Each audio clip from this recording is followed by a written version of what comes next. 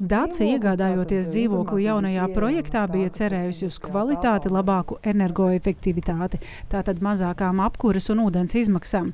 Taču visai drīz atklāja, ka karstais ūdens modernajā dzīvoklī ir jāgaida nevis 20 sekundes, kā tas rakstīts būvnormatīvā, bet gan nepilnas divas minūtes. Man katru reizi bija jānoticina spēļas ūdens, un tikai tad es sagaidīju šo remdeno ūdeni. Pēc raidījuma izskanēšanas ēterā raidījuma veidotāju komanda saņēmusi vairākus desmitus vēstuļu. Mēs sākām saņemt nu, šobrīd nu, formulēt desmitiem vēstuļu, kur atkārtojas šī problemātika. Pārsvarā tās ir attīstītāji būvētas mājas, bet arī citas. Un man ir rakstījuši arī vairāk jau, es saprotu, eksperti, kas saka, ka tā problēma varētu būt ļoti aktuāla. Ja mēs ieraugam šo ainu kopumā, tad mēs secinām, Jā, mēs par karsto ūdeni iespējams pārmaksājam. Jā. Mēs pārtērējam to karsto ūdeni un pārmaksā cilvēki. Ekonomikas ministrijā un Rīgas pašvaldībā līdz šim nav bijis daudz šādu sūdzību. Speciālisti gan pieļauj, ka iemesls varētu būt iedzīvotāju nezināšana par būvnormatīvu prasību, kas uzliek par pienākumu ūdeni 55 grādu temperatūrā līdz ūdens krāna atvērējam piegādāt 20 sekundžu laikā. Ministrijā arī uzsver par visu jāmaksā. Ja ir vēlme, lai atbilstīgi karsts ūdens krānā būtu iespējami ātrāk, jābūt vairāk stāvvadiem, kas attiecīgi sadārdzinās paša dzīvokļa sākotnējo cenu.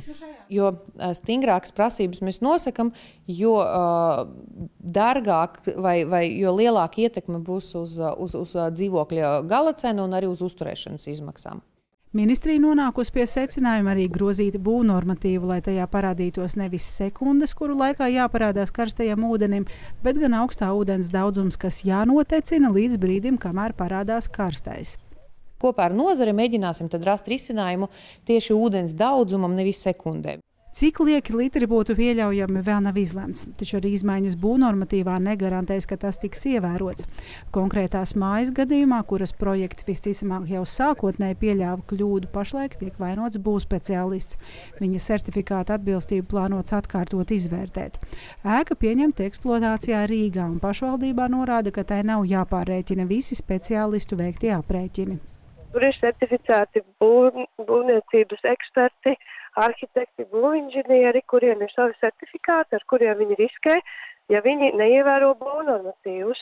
Ja mums būs būvniecības regulējums, kas mums teiks, ka uh, pie, uh, pieņemsim pie šādas te apbūves uh, pašvaldībai tiesības pieprasīt uh, pie aizdomām, ka varbūt nav kaut kas precīzi izdarīt, pieprasīt ekspertīzi, mēs to noteikti darīsim. Tas ir mūsu interesēs, protams.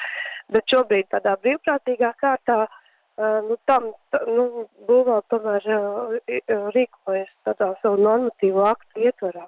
Tikmēr redzējums aizliegtais paņēmiens aicina iedzīvotājus, kas dzīvo nesen uzbūvētos jaunajos projektos, pārbaudīt sava karstā ūdens piegādes laiku un par to informēt raidījumu, lai apjaustu, cik plaša ir šī problēma. Zandozo Balodi Kaspars Markus un Andris Sārma Latvijas televīzija.